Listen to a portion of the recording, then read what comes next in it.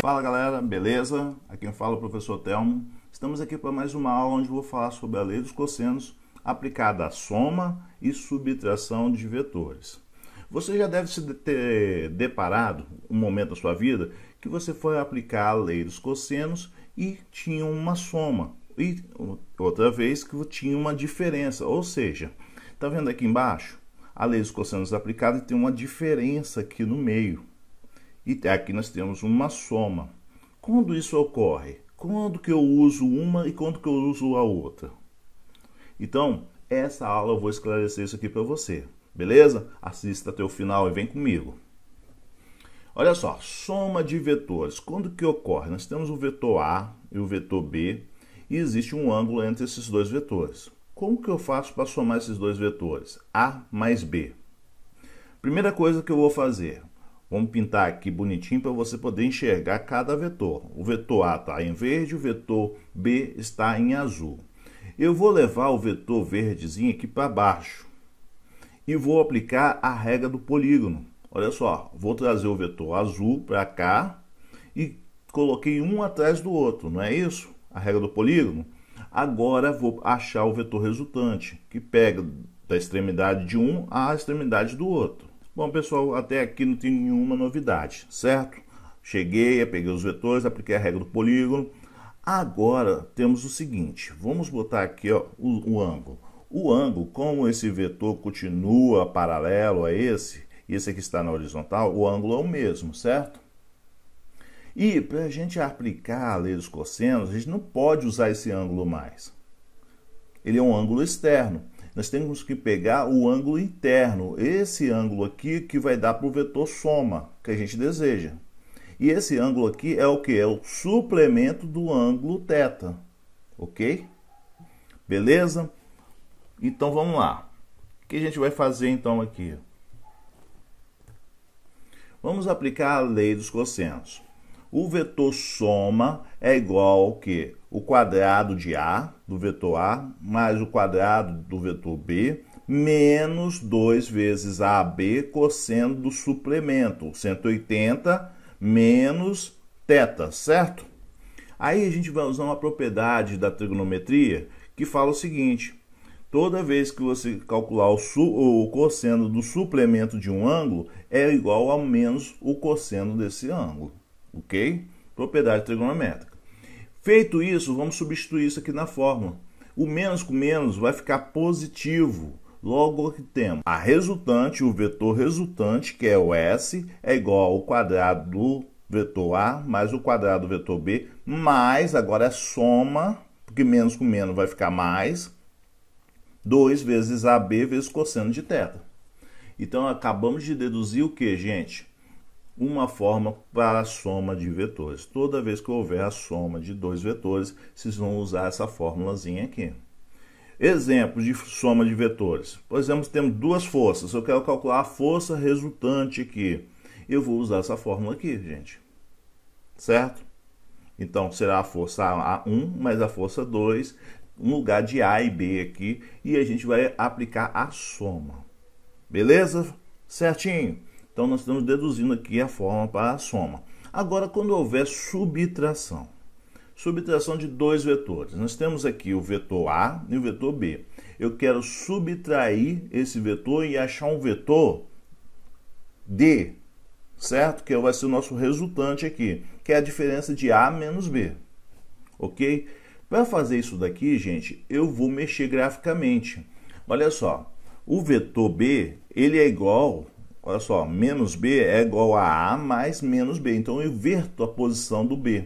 Ele está indo aqui para cima, eu vou botar ele na mesma direção, no sentido contrário, apontando para baixo, olha só.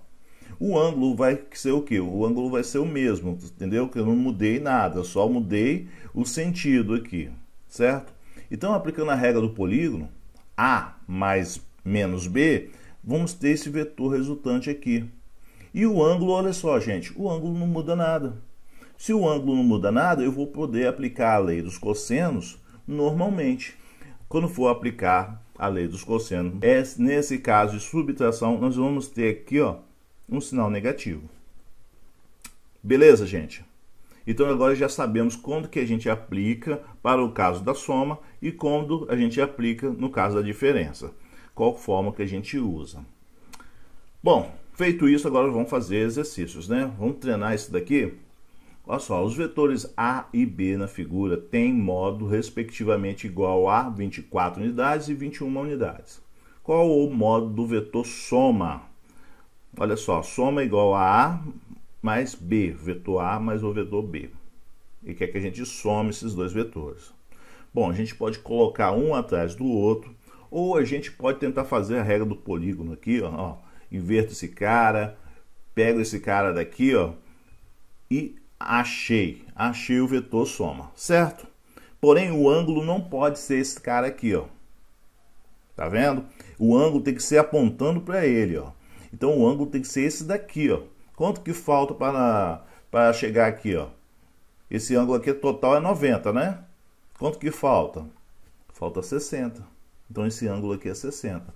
Pronto, achamos o ângulo que dá para o vetor resultante, certo? Achamos o vetor resultante, agora é só aplicar a lei dos cossenos. O vetor soma, ele vai ser igual ao que? O quadrado de A mais o quadrado de B mais 2 vezes AB vezes o cosseno de 60. Certo? Agora acabou, gente. Acabou a física, só temos matemática. A gente só vai substituir o 24, o 21, mais 2 vezes 24 vezes 21 vezes o cosseno de 60, que é o que, gente? Meio. Beleza? Bom, resolvendo essa continha aqui, a gente vai achar 39 unidades e Zé fininho. E é assim que a gente resolve a lei dos cossenos de uma soma. Agora vamos ver o exemplo 2, que é muito semelhante com esse daqui. Ó. Olha só, um caminho caminhoneiro efetuou duas entregas de mercadorias e, para isso, seguiu o itinerário indicado pelos vetores deslocamento D1 e D2, ilustrados na figura ao lado. Beleza. Para a primeira entrega, ele deslocou 10 km e para a segunda entrega, ele deslocou 6 km. Ao final da segunda entrega, a distância a que o caminhoneiro se encontra do ponto de partida é. Bom, vamos olhar o desenho aqui. Ele partiu lá de cima, né, gente? Começa lá de cima, tá vendo? Ele começa e desce 10 km. Depois ele faz o outro deslocamento, 6 km. O vetor já está desenhado aqui, ó. Ele já deu o vetor para vocês, tá vendo? O vetor de deslocamento é esse cara aqui, ó. Mas só que aí a gente tem que achar o ângulo. E outra coisa, que, que você acha? Isso aqui é uma soma ou uma subtração? Para achar o vetor D, a gente soma D1 mais D2 ou a gente subtrai esses dois vetores? Galera, a gente subtrai. Aqui é uma subtração, tá? A gente, para achar esses dois vetores aqui, para achar o vetor de deslocamento, a gente vai pegar a menor a diferença entre esses dois deslocamentos aqui. Então, galera, pra, vamos lá achar quanto que falta para 90 aqui?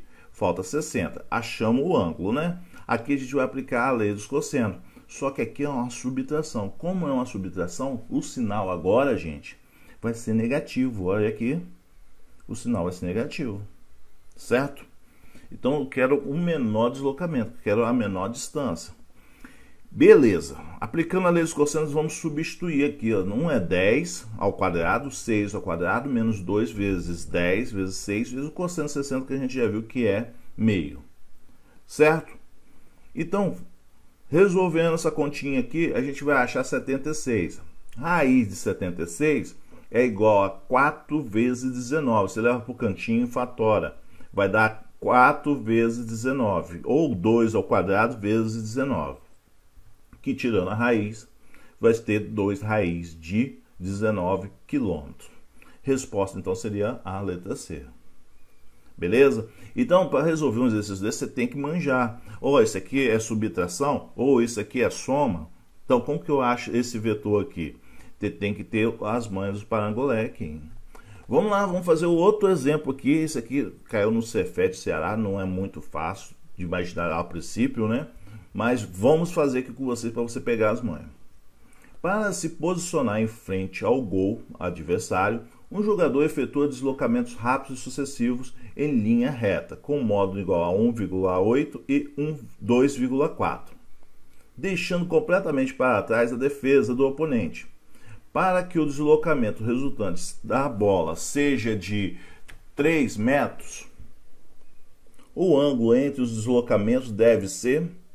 Bom, gente, ele fez dois deslocamentos e quer um ângulo entre os deslocamentos. Vamos tentar imaginar essa situação? Vamos supor que isso aqui é um deslocamento, aí o jogador dá aquela ginga, né, aquele drible, e vai, já vai, vai para um lado, vai para o outro.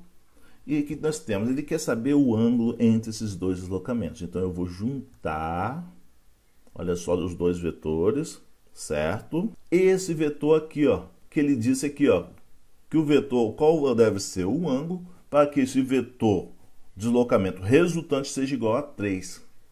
Ou seja, ele deu o deslocamento 1, o modo, o deslocamento 2, e ele quer que o resultante seja igual a 3. Qual é o ângulo entre esses dois? Para que esse deslocamento seja 3. Sacou?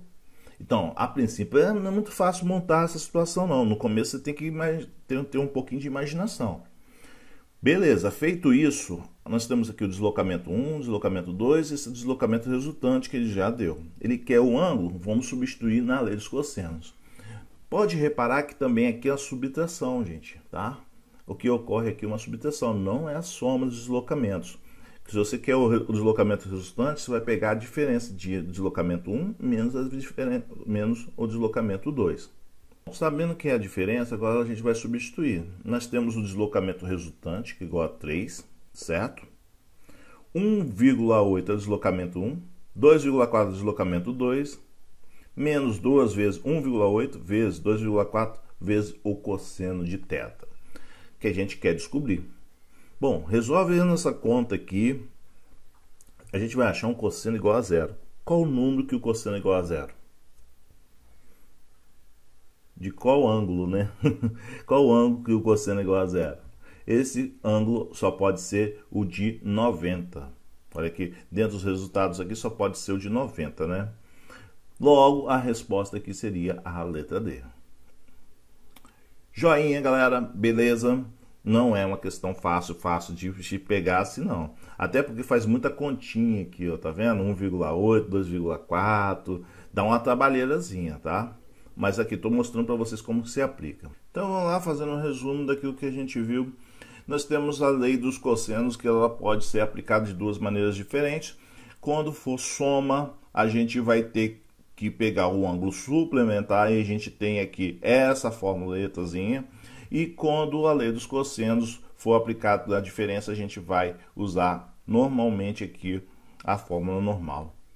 Então, temos soma e subtração, dois conceitos diferentes. Beleza?